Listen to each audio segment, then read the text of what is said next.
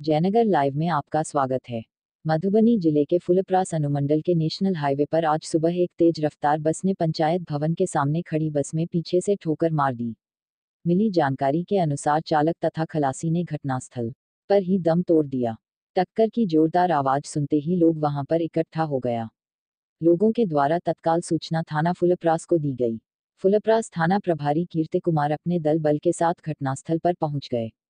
पहुँचने के बाद पुलिस डेड बॉडी को पुलिस अपने कब्जे में ले ली है। तथा थाना प्रभारी ने बताया दो व्यक्ति की हालत गंभीर देखते हुए बेहतर इलाज के लिए डीएमसीएच दरभंगा रेफर किया गया है। जबकि दोनों बसों को पुलिस अपने कब्जे में लेकर थाना परिसर फुलप्रास लेकर आई।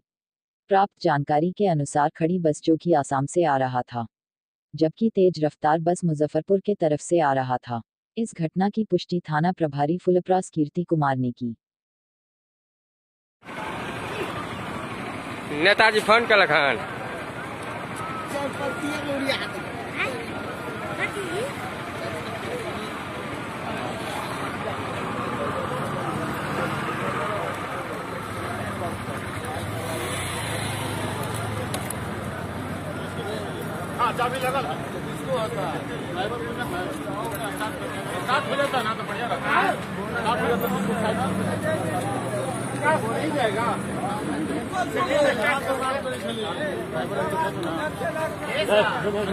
गाड़ी वाला को रोक ड्राइवर का इस्तेमाल कर।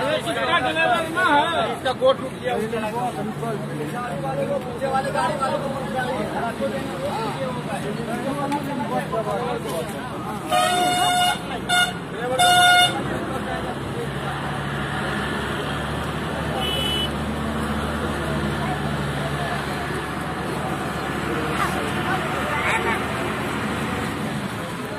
वीडियो बनवा देना वीडियो बना कर भेज देवे शहर के